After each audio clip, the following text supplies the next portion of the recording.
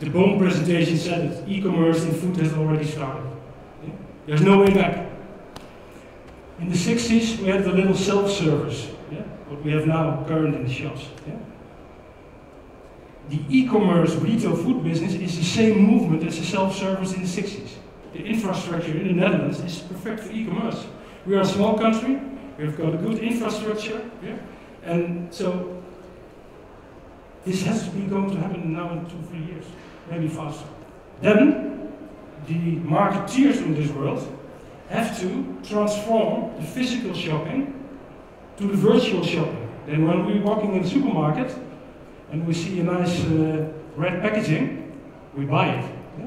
And that transforming process has to be go virtual to internet. The main thought in the food packaging or it is the industry or the retailers, the online shopping will not go so fast. We will always keep the shops. Yeah, maybe, I don't know. But one thing for sure is that e-commerce is going to sell. What's the future? Change of supply chain in the future because of online shopping. Omni-channel distribution.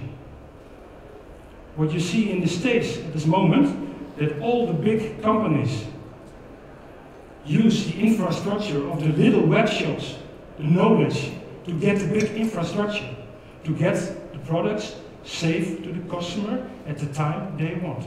Yeah?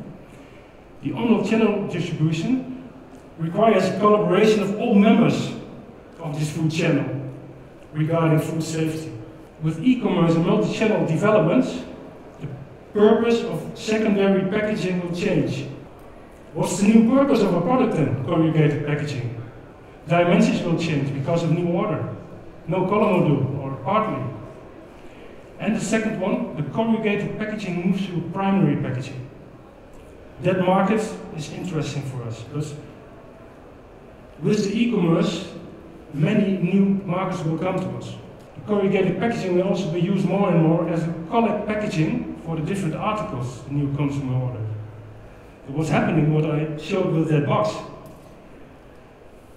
you shop online or with your mobile or with your computer, yeah? Or they bring it at home, but they need a box to collect it.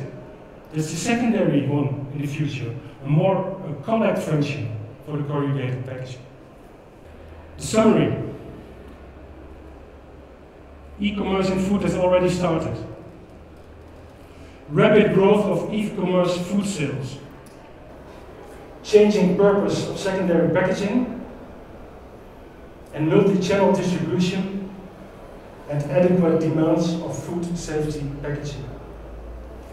This is, I think, four important things for the future.